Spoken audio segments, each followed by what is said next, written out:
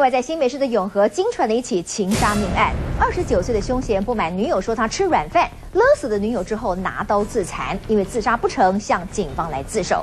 不过，由于这名男子的情绪不稳定，说话语无伦次，还一度表示他曾经半尸三天。但是，经过了警方相验，这名女子的死亡时间确实至少超过一天以上。为什么要杀自己女友？会不会很后悔杀人？哎，不要推哦，不要推哦，安全。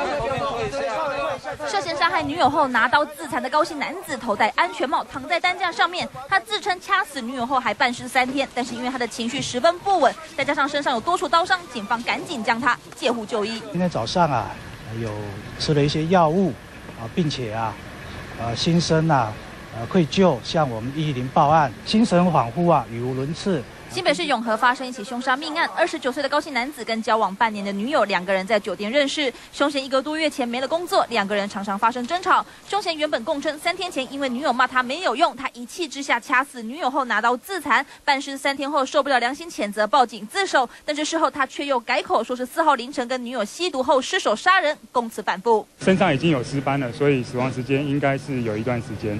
检察官验尸发现，死者死亡时间至少已经超过一天，而凶嫌拿刀自残又吃药，身上有十多处的刀伤，精神恍惚，仍在医院治疗。警方也将加紧脚步调查，要厘清案发原因。